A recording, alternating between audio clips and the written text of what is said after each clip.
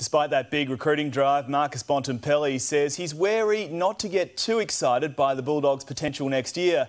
And the skipper also revealed how he was caught right in the middle of Josh Dunkley's attempts to leave. He spoke exclusively with Corey Norris.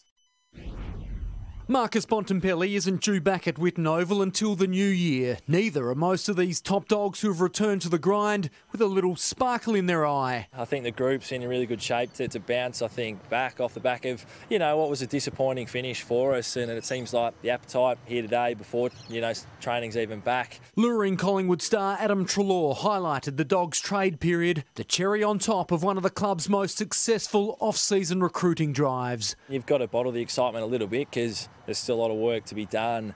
Uh, but in terms of returning to training, there's definitely a little bit of a little bit of excitement to get back and get together and start, you know, working towards next season. While Bont was sporting a fresh cut, chiselled looking Josh Dunkley has also been welcomed back with open arms, proving he's as keen as any to get back to business we never doubted in Josh, regardless of how things unfolded. Keeping was obviously a priority for us as players and as a football club, um, that he'd be straight back to work and, and committing to, to what he always has. It's relief too for the skipper, who was caught in a rather tricky situation. As obviously one of his good mates too, I was sort of trying to help support him throughout the process, but clearly the same as a football club wanted to, to keep him and, and knew that I felt like we could provide what he needed as, as a football club. They're now keen to let sleeping dogs lie. Corey Norris, Nine News.